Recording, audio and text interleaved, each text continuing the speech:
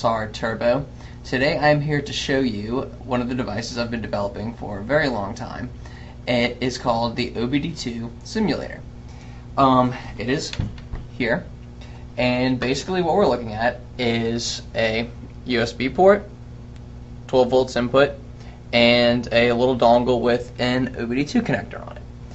And what we're able to do with this device is plug it in to USB and load in specifics about your car. So if you are, say, a code scanner developer, or you are someone who's interested in learning the OBD2 protocols, but you don't necessarily feel like sweating it out in a vehicle all day long, this device will actually help you develop and learn what you're uh, what you're trying to learn. So what we're going to do is I'm going to demonstrate the software that I've written. It's a very basic uh, C-sharp application that uh, connects via USB and allows us to load in some very basic parameters uh, into the unit. It will become more advanced as time goes on.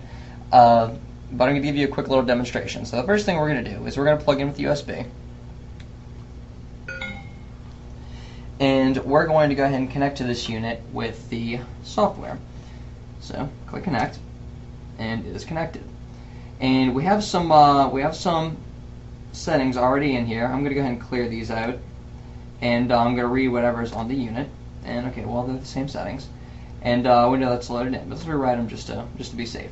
And actually, I'm going to make a change. I'm going to change the oxygen sensor readiness monitor to in progress. And we're going to save that to the unit. Then what I'm going to do is I'm going to plug in with my code scanner. And we're going to see what it reads out.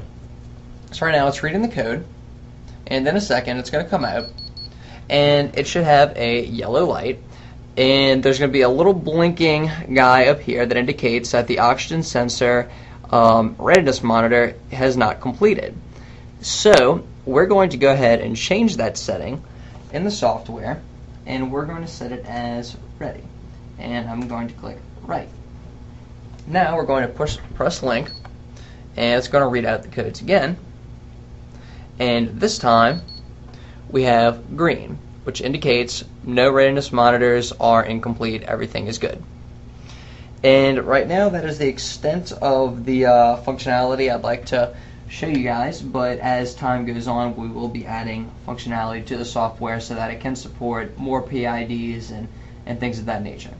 Hope you enjoyed.